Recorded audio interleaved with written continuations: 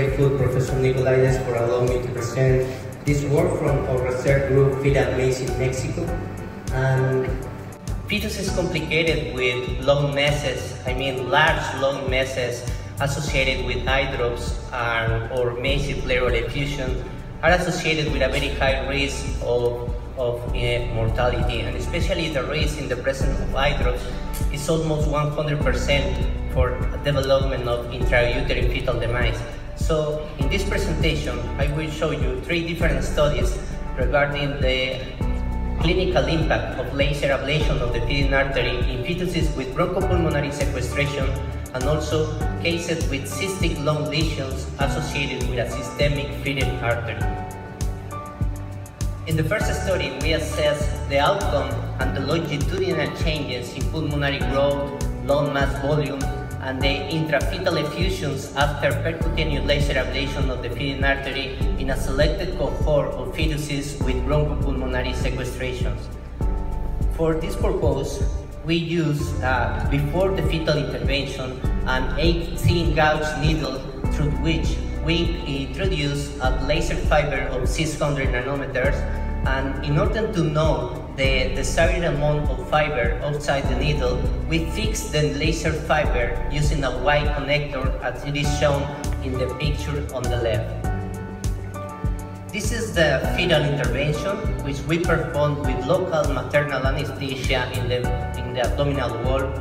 And then we introduce the needle directly into the fetal thorax.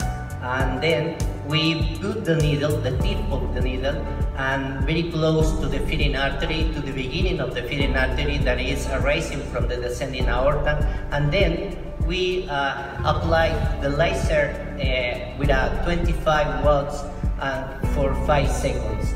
Then, at the end of the fetal interventions, we perform uh, the drainage of the MACE pleural effusion, and then we follow the cases and we evaluate the fetuses at 22 hours, then 72 hours, and weekly, and until the end of, of the disappearance of the fetal effusions, and then every two weeks until delivery. This uh, video shows the decrease of the lung mass one week after the fetal intervention. This other is four weeks after the intervention and then you can show how the lung mass is decreasing over the time. And at term the lung mass is appears very small and very delimited by uh, uh, in the affected lung. But also the pulmonary growth was increasing over the weeks after the interventions and becomes normal more or less in average 8 weeks. So the outcomes of these 15 uh, cases that were selected are consecutive cases of bronchopulmonary sequestration. The fetal intervention was performed on average at 27 weeks, from 20 to 32 weeks of gestation, and the gestational age at birth was almost at term in all cases. Just one, one case was uh, delivered prematurely at 36 weeks of gestation, and the survival rate was 100%. So in this graph, we uh, illustrate the survival analysis that represent in the y-axis the remaining proportion of fetal effusions after the fetal interventions and in the x-axis is are the days after the intervention. Hydrops disappears on average uh, one week after the interventions.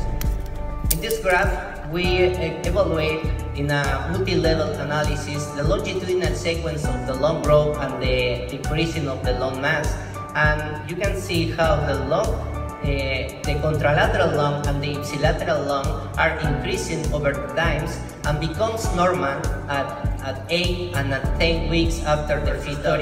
In fetuses with bronchopulmonary sequestration, the fetal laser intervention may be of benefit in improving lung growth and perinatal survival by inducing a lung mass regression and a disappearance of fetal effusions in all cases.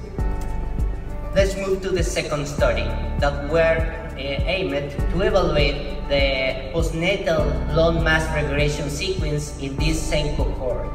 Uh, all of these cases were treated with the laser ablation of the feeding systemic artery in fetal life, but, but all cases were not uh, required a neonatal surgical resection of the remaining lung mass.